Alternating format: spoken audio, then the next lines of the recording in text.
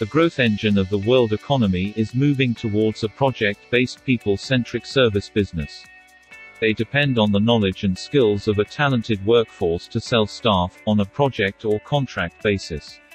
Thus, making resource and talent utilization an important growth factor. You can now keep track of your talent and resource utilization with the Einstein Analytics dashboard for Salesforce. Let's start with the talent pool reports. On top, you will see the major KPIs related to HR and project managers. This section enables the project managers to visualize and create a talent pool that is populated with the right skills qualification, cultural profiles, and most importantly their availability with the required locations.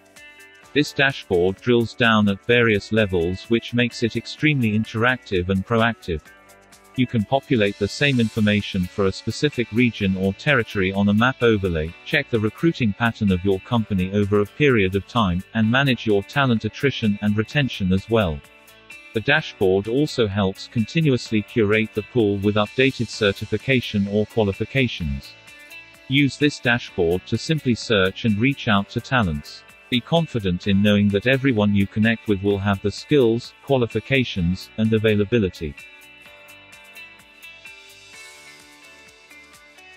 Let's now look into the project section. These dashboards allow project managers to monitor their team's billability and productivity.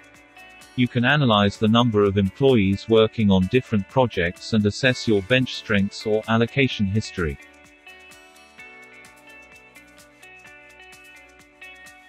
Finally, we will go through the usage analytics section. Usage Analytics offers independent reports that cover areas like employee, role, project insights, and team allocation. So no matter your business size, or a number of locations, you can be sure, we at CRMIT Solutions will help you to optimize your resource and talent utilization. Thank you so much for watching this video. Please do leave a comment or question.